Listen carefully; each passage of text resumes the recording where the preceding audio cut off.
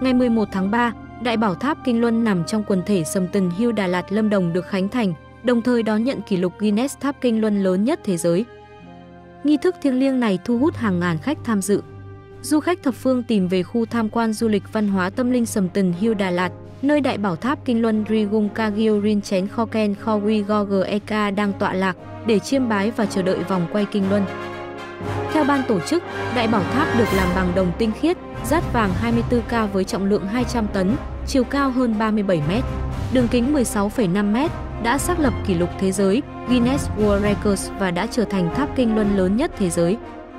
Phát biểu tại buổi lễ, bà Sonia Ushiro Gochi, chuyên gia thẩm định chính thức của Guinness World Records cho biết, công trình không chỉ được hoàn thiện theo các quy chuẩn kỷ lục mà các thông số đã vượt qua công trình giữ kỷ lục hiện tại.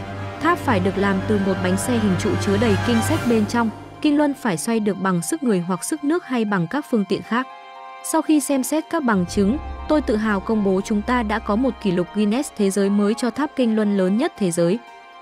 Tại buổi lễ trao kỷ lục, các đại biểu được chứng kiến những vòng xoay đầu tiên của tháp kinh luân lớn nhất thế giới chính thức khởi động. Sự kiện góp phần quảng bá mạnh mẽ hình ảnh của Đại Bảo Tháp Kinh Luân trong quần thể văn hóa tâm linh Phật giáo Kim Cương Thừa tại Sầm Tần Hưu Đà Lạt, đưa hình ảnh của tỉnh Lâm Đồng lan tỏa mạnh mẽ. Đây là biểu tượng của tình hữu nghị, hòa bình, văn hóa ngoại giao Việt Nam, Ấn Độ và nhiều nước trên thế giới. Đại Bảo Tháp Kinh Luân lớn nhất thế giới kỳ vọng trở thành một di sản văn hóa Phật giáo tại Việt Nam. Công trình chứa đựng tâm huyết của chủ đầu tư, công ty Kim Phát mong muốn kết nối Việt Nam với thế giới bằng con đường giao lưu văn hóa, nghệ thuật trong đó có văn hóa tâm linh Phật giáo. Quần thể văn hóa tâm linh xung quanh Đại Bảo Tháp Kinh Luân còn có nhiều công trình Phật giáo với hệ thống tượng thờ lớn, được kiến tạo bởi bàn tay của các vị hành giả Phật giáo đến từ Ấn Độ, Nepal. Quần thể này đang thu hút nhiều du khách tới tham quan, chiêm bái, trải nghiệm cảnh quan thiên nhiên từ đồi cao nhìn xuống thung lũng Đơn Dương, Lâm Đồng.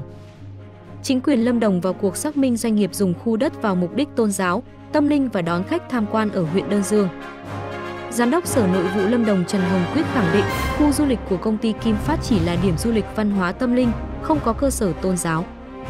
Theo đó, ông Lê Quang Trung, Giám đốc Sở Xây dựng Lâm Đồng, cho biết Sầm Tần hưu Đà Lạt thực chất là dự án trồng rừng, chăm sóc rừng trồng, quản lý bảo vệ rừng, trồng cỏ, chăn nuôi bò sữa, xây dựng nhà máy sữa và kết hợp tham quan, du lịch văn hóa trải nghiệm.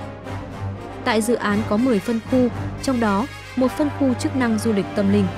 Phân khu này, chủ đầu tư được Ủy ban Nhân dân tỉnh cho phép làm du lịch văn hóa tâm linh, kết hợp nghỉ dưỡng. Đối với công trình văn hóa du lịch tâm linh, phải có kiến trúc của tôn giáo, nhưng khẳng định đó không phải là chùa. Theo ông Trung, trong giấy phép xây dựng được cấp cho chủ đầu tư, Sở Xây dựng đồng ý cấp phép cho các công trình biểu tượng không phải công trình tượng Phật. Về công tác xây dựng, Sở này thông tin khi kiểm tra chủ đầu tư triển khai dự án, đơn vị phát hiện một số vi phạm. Những vi phạm này đã bị xử phạt vi phạm hành chính, yêu cầu chủ đầu tư khắc phục. Đồng thời, Sở cũng kiểm tra hai công trình của công ty trên, phát hiện sai thiết kế giấy phép nên cũng đã xử phạt hành chính, yêu cầu hoàn thiện hồ sơ. Về dư luận phản ánh bên trong dự án Sầm Tần hưu Đà Lạt có công trình như ngôi chùa Ấn Độ và có hoạt động tôn giáo, Giám đốc Sở Nội vụ Trần Hồng Quyết khẳng định khu du lịch của công ty Kim Phát không được phép hoạt động, sinh hoạt tôn giáo. Đây chỉ là điểm du lịch văn hóa tâm linh, không có cơ sở tôn giáo. Mọi hoạt động sinh hoạt tôn giáo tại Sầm Tần hưu Đà Lạt là không được phép, ông Quyết nhấn mạnh. Tương tự, đại diện Sở Tài nguyên và Môi trường cũng đưa ra thông tin tỉnh yêu cầu chủ đầu tư Sầm Tần Hill Đà Lạt sử dụng đúng mục đích đất được giao thực hiện dự án, đặc biệt không có công trình tôn giáo. Ông Ngô Văn Ninh, tránh văn phòng Ủy ban Nhân dân tỉnh, thông tin đoàn công tác của Trung ương đã vào làm việc với địa phương xung quanh các vấn đề tại dự án Sầm Tần Hill Đà Lạt. Sau khi kiểm tra, đoàn công tác khẳng định chưa phát hiện sai phạm tại dự án này, song lo ngại về sinh hoạt tôn giáo. Người phát ngôn của Ủy ban Nhân dân tỉnh nêu, tỉnh yêu cầu chủ đầu tư dự án sử dụng đúng mục đích sử dụng đất, không được thờ tự, sinh hoạt tôn giáo tại đây. Đồng thời, ông Ninh cũng cho biết, Ủy ban Nhân dân tỉnh đã giao cơ quan chức năng liên quan liên tục kiểm tra, nếu phát hiện sai phạm sẽ xử lý, thậm chí đình chỉ hoạt động. Khu du lịch này cũng được đưa vào hoạt động, tổ chức đón khách, thời gian 6 giờ tới 16 giờ mỗi ngày. Giá 250.000 đồng trên vé người lớn, 180 đồng trên vé trẻ em và người lớn trên 65 tuổi.